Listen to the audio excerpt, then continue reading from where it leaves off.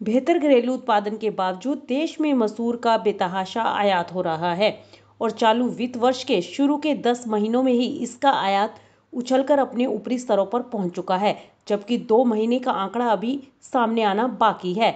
वहीं मिली जानकारी के मुताबिक अप्रैल 2023 से जनवरी 2024 के इन 10 महीनों के दौरान देश में कुल चौदह लाख पिचानवे हज़ार चार सौ छियानवे टन मसूर का रिकॉर्ड आयात हुआ है, जो कि पिछले साल 2022-23 में समान अवधि के आयात छः लाख पच्चीस हज़ार आठ सौ छियानवे टन के दोगुने से ज़्यादा है।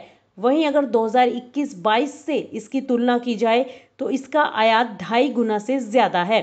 वित्त वर्ष 2022-23 की अवधि अप्रैल से मार्च के दौरान देश में कुल आठ लाख अट्ठावन हज़ार चार सौ अठतीस टन मसूर का आयात हुआ था। जबकि 2023-24 में आयात इससे दुगना हो सकता है। इससे पहले भी 2021-22 में छः लाख सतासठ हज़ार चार सौ इकतीस टन मसूर का आयात हुआ था, जबकि साल 2020-21 में आयात बढ़कर ग्यारह लाख सोलह हज़ार एक सौ चौहत्तर टन के रिकॉर्ड स्तर पर पहुँच गया था। वहीं 2019-20 में आयात आठ लाख चौपन हज़ार चार सौ साठ टन दर्ज किया गया था। वहीं अगर अब महीना वाइज देखा जाए तो मसूर का आयात अप्रैल 2023 में छियासठ टन, मई में इकसठ टन तो जून में एक लाख सत्तर हज़ार एक सौ छिहत्तर टन देखने को मिला। तो जुलाई में एक हज़ार सतासठ हज़ार आठ सौ तीन टन रहा तो अगस्त में एक लाख चौवालीस हज़ार एक सौ अट्ठाईस टन, जबकि सितंबर में एक लाख इक्यानवे हज़ार पाँच सौ इकतीस टन दर्ज किया गया।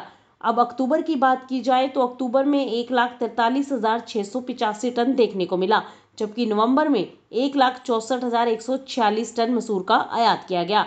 तो वहीं दिसंबर में दो लाख सैंतीस हज़ार आठ सौ छत्तीस टन आयात पहुँच गया, जबकि जनवरी में एक लाख सैंतालीस हज़ार सात सौ पैंतालीस टन का आयात होने का अनुमान है। आपको बता दें कि मसूर का आयात मुख्य रूप से ऑस्ट्रेलिया और कनाडा से किया जाता है।